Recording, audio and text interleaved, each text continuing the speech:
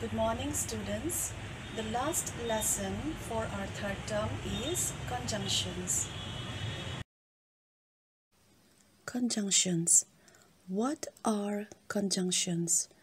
Conjunctions are words that are used to join two or more words, groups of words, or sentences.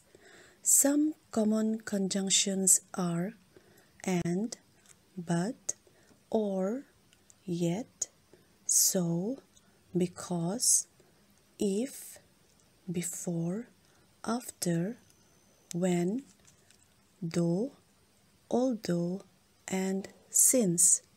Now let's see the common uses of conjunctions. And, but.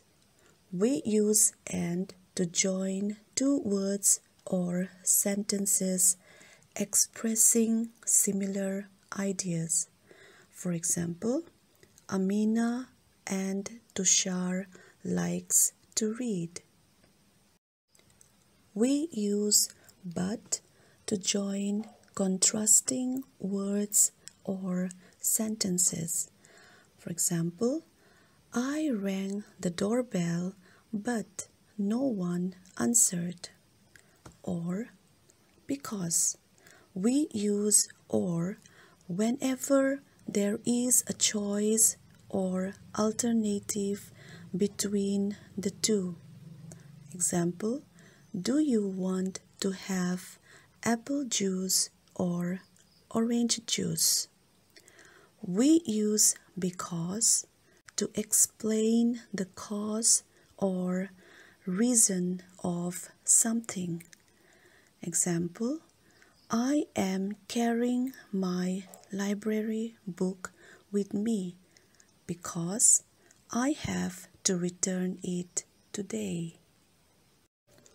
When, so, if. When is used for showing two events happening at the same time. Example, please give me a call when you reach home so is used for expressing a purpose or a reason. Example, the baby was hungry, so she started crying. If is used for showing a condition. Example, please tell me if you need anything. Some more examples of conjunctions are yet, before, after, though, although, since. Yet, it was raining, yet Raghav went out to play. Before, I have breakfast before I go to school after. We can go to the science fair after we finish our work.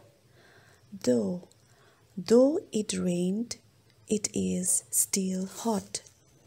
Although he went to play, although he was sick. Since we carried our raincoats since it was cloudy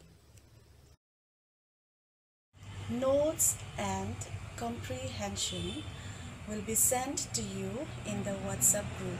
Thank you.